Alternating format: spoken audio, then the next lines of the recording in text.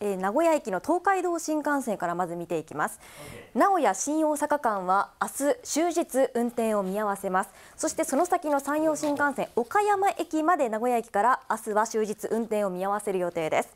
そして名古屋東京間は大幅に本数を減らし運転するんですけれども1時間にのぞみ4本こだま1本程度さらにグリーン車以外全車自由席ということで大変な混雑が見込まれます。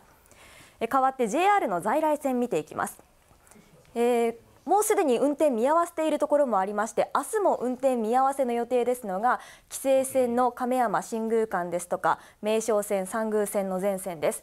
さらに5時台では本数を減らしてとお伝えした線もあるんですけれども明日終日運転見合わせに変わりました。東海道線の豊橋前原間ですとか中央線の名古屋中津川間など明日終日運転見合わせの区間が増えました。こちら十分にご注意ください。代わって近鉄です。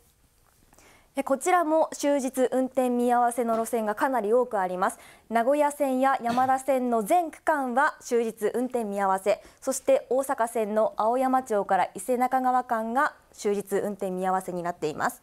名鉄は始発から運転見合わせなのが空港線です。そして午前10時以降運転見合わせとなるのが瀬戸線を除く全線となっています。では空の便見ていきます。こちら中部国際空港かなり欠航が多くなっています。まず今日です。国内線は14便国際線は2便が欠航。明日は国内線128便国際線は14便が欠航となっています。県営名古屋空港今日の欠航はなかったんですけれども明日の国内線50便すべてで欠航が決まっています。そして高速道路は明日から明後日の広い範囲で通行止めの可能性が出てきているということです。そして臨時休業となっている施設も多くあります。主なものを見ていきます。